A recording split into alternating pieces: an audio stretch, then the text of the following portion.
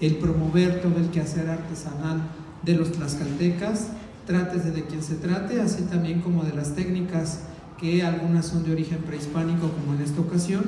Y bueno, Terrenate, que es un municipio que se encuentra un poco alejado de la capital del estado, no es ningún impedimento para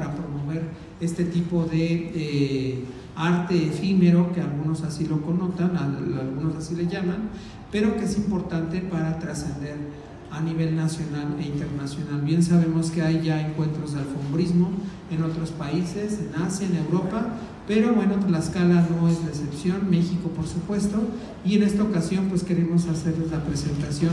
de este segundo encuentro de alfombrismo. El presidente municipal que nos acompaña el día de hoy nos dará también algunos detalles de algunas otras celebraciones que se van a realizar en Terrenate y también, bueno, el director de turismo y el artesano, quienes nos acompañan hoy, hablarán un poquito acerca de este arte. Agradecemos a todos los medios de comunicación que nos acompañan el día de hoy y bueno, muchas gracias por acompañarnos.